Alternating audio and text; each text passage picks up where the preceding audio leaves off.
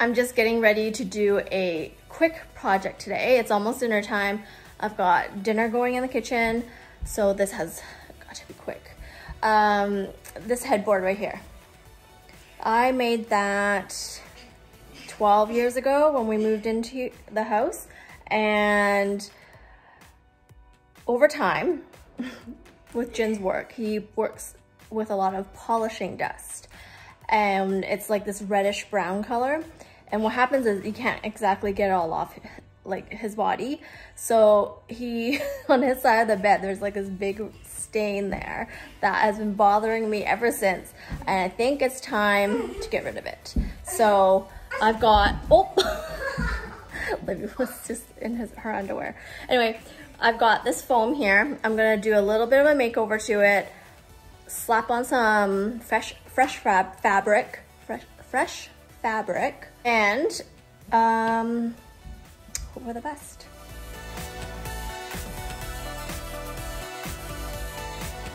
So headboard is super simple to make. I just used a piece of plywood and then um, some batting. And see, there's plywood, some batting that goes across, and then I wrapped a piece of fabric. Yeah? Uh oh. oh my god. Are you okay? No. I can't even get. You can see down there that um, I didn't cover it all the way because you don't really see that part because it gets covered by the nightstand and the bed. So super easy. It's held up pretty well. I mean, this part has unraveled a bit because the girls like to pull on this and land in the bed. So it doesn't look that great there, but um, I have a little I bought a little extra fabric so that I can, um, so that it will go over it a little bit more so that it won't pop up like that.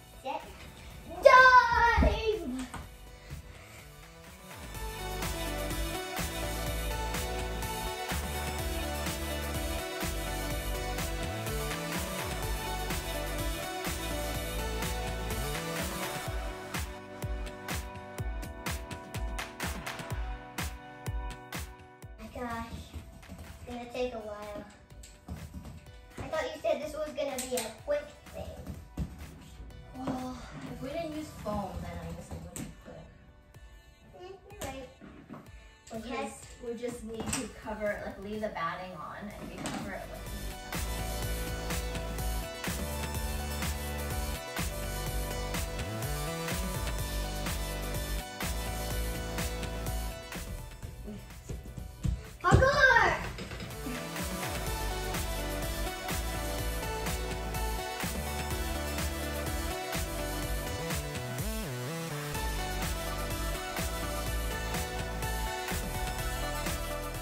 Okay, so this is how you do the corners. You basically just wrap it like a present. If you know how to wrap present, you can probably do a corner. You're first, you're gonna bring up the um, side here. You're gonna pull it up fairly tight. This piece here, once you got it folded, you're gonna grab it, a little bit of excess, and then form a corner.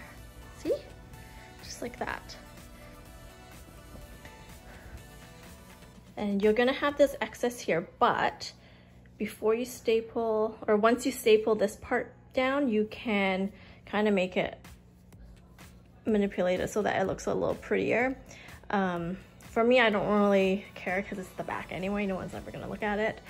But if it matters to you, um, you can, once this part is stuck down, you can kind of tuck it in here or just trim it as well. That might be an easier way, but look how nice that corner is. It is super easy to do.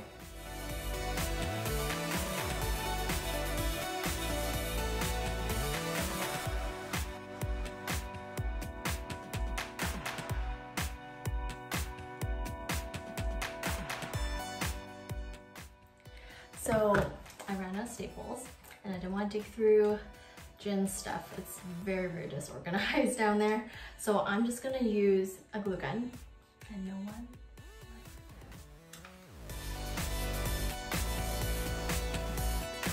So I'm just gonna put a little strip of glue right there and then pull down on the fabric. Make sure it's nice and taut. Hold it there for a couple seconds and making sure that it's not bunched at the top so the so that the fabric um, doesn't gather up here.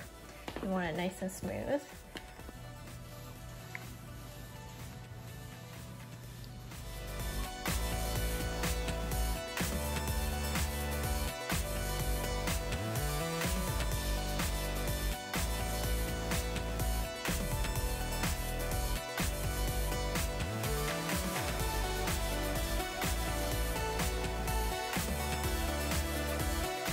So I just want to show a quick close-up video of the headboard.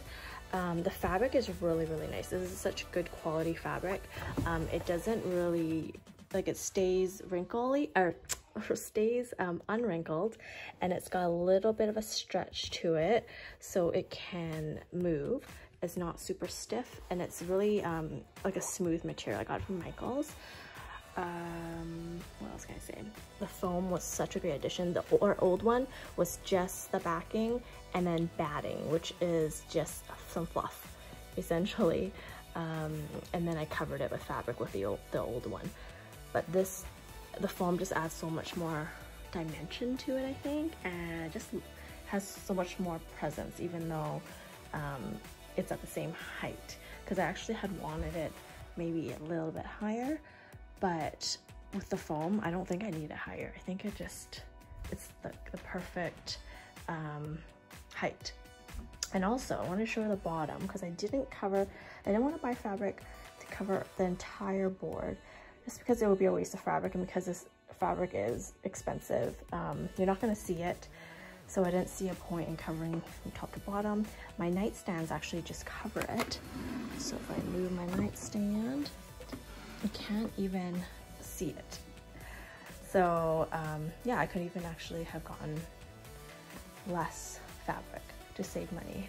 I just finished shooting photos for the new headboard that I made and I just want to show you a little behind the scenes of what happens during a photo shoot.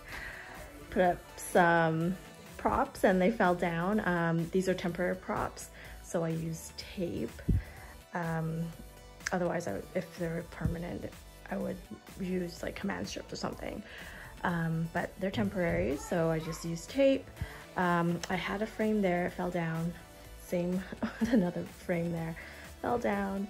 And I had to try out a bunch of pillows, take furniture and stuff from all over the house just to create the look. So nothing is ever perfect behind an Instagram photo. but it was fun. The whole family got involved, helped me out. Um, yeah, so, so I share that. A lot of manpower, woman power goes behind taking the perfect photo for the gram. And I don't normally have this many pillows on the bed. I usually have our sleeping pillows, which are right there, and then two larger ones to lean up against. Um, and these ones usually stay in the closet um, or I'll pull them up once in a while whenever I need them for props and shoots, that sort of thing. And this one goes on the couch or outdoors. Um, yeah, that's what it looks like. Missing the hat and the picture frames behind the lamps, but is it. I love it. The color goes really well with the blue too. It's a nice taupey beige. It's not too warm. I thought it might make um, might look a little murky um, with the white, but I think it looks really nice. It's got, a subtle pattern.